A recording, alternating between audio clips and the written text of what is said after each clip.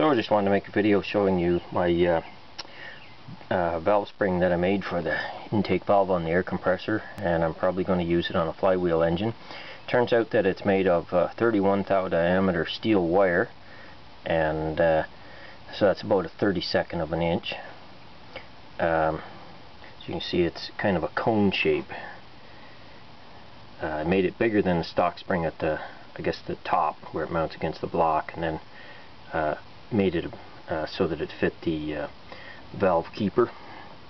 See in the background there my uh, knocker head which I was finally able to find. It's only been missing about five years but uh, so it's been filled in and uh, has a lot less uh, combustion chamber volume so it has I don't know what the compression ratio is 12 to 1 or something I don't know it's up there anyways and then you got my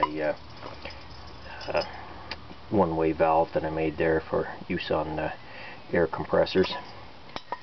So anyway, uh, just show you my uh, homemade uh, uh, light-duty uh, valve spring there. So basically, the it's, this, it's to close the inlet valve since the inlet valve is only opened by suction from the piston.